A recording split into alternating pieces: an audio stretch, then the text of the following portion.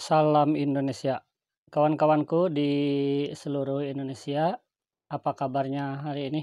Mudah-mudahan kita semua diberikan kesehatan, sehat walafiat dan terhindar dari segala bentuk bencana maupun wabah. Amin. Kawan-kawanku, untuk pertemuan kali ini saya akan berbagi tutorial atau tip aplikasi yang mudah dipahami oleh masyarakat. Karena sebagian masyarakat ada yang bingung ketika cara mengecek listrik gratis keterangannya e, berbeda-beda. Ada yang error ada yang sudah terbayar tidak ditemukan itu mungkin membingungkan sebagian masyarakat. Dan kali ini saya akan berbagi aplikasi Aplikasi ini ringan karena hanya beberapa MB saja kapasitasnya dan pasti masyarakat akan dapat memahaminya dengan mudah.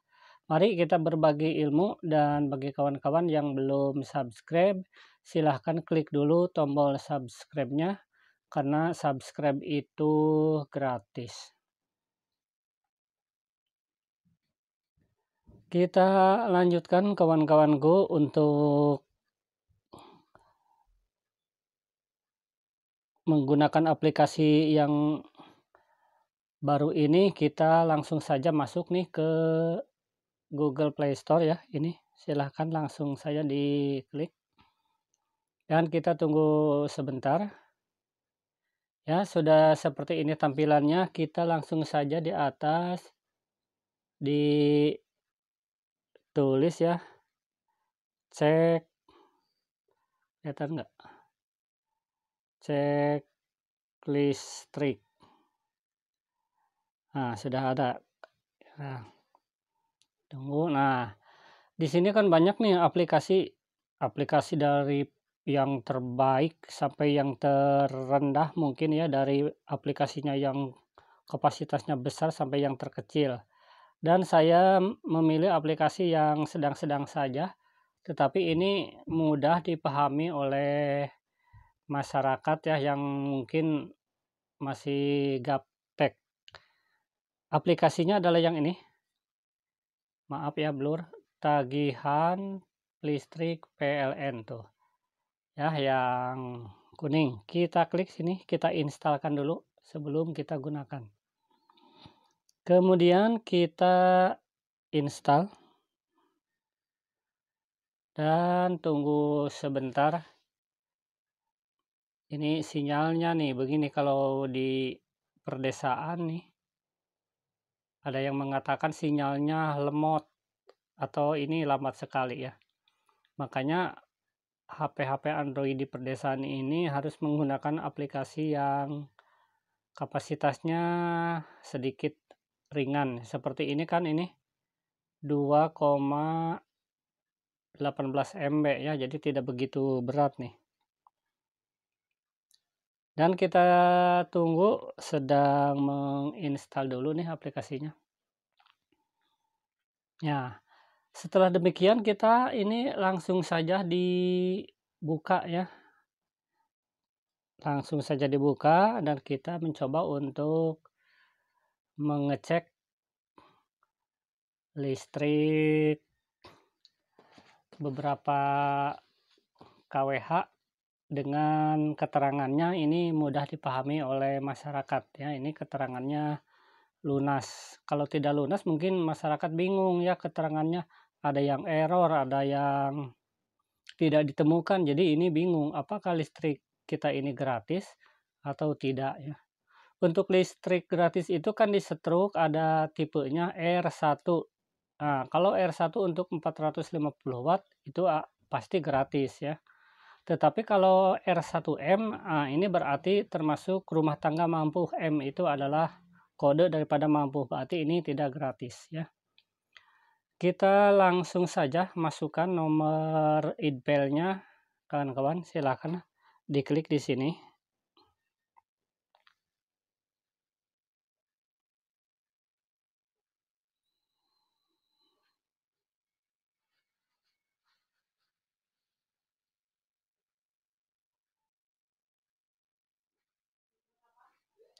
Langsung kita klik cek tagihan.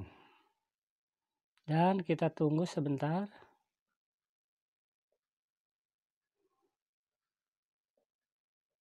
Hmm, ini server ya sedang mencari.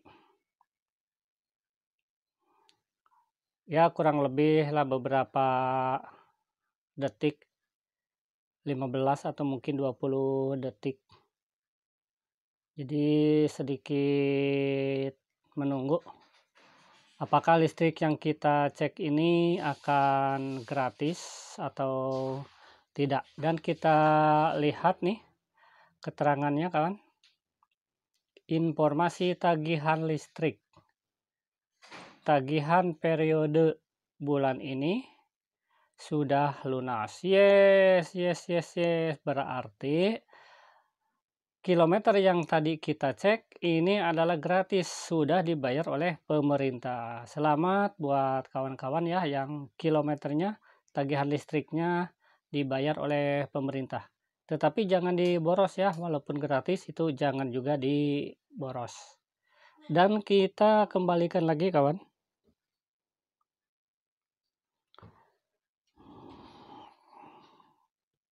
Hmm.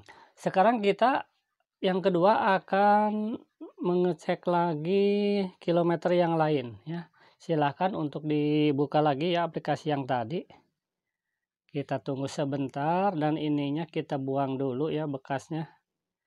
Kita ganti dengan nomornya yang lain. Kita masukkan dulu nomornya.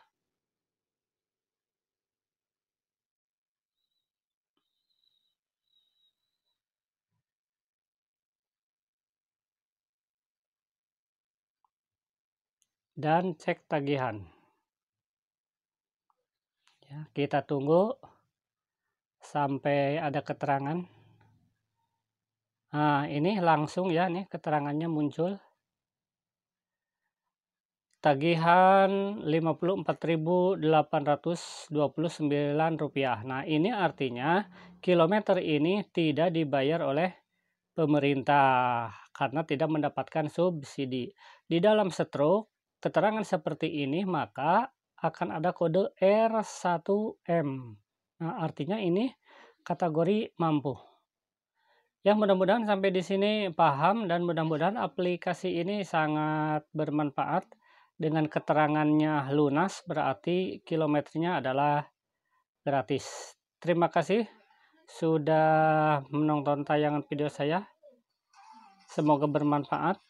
Wassalamualaikum warahmatullahi wabarakatuh.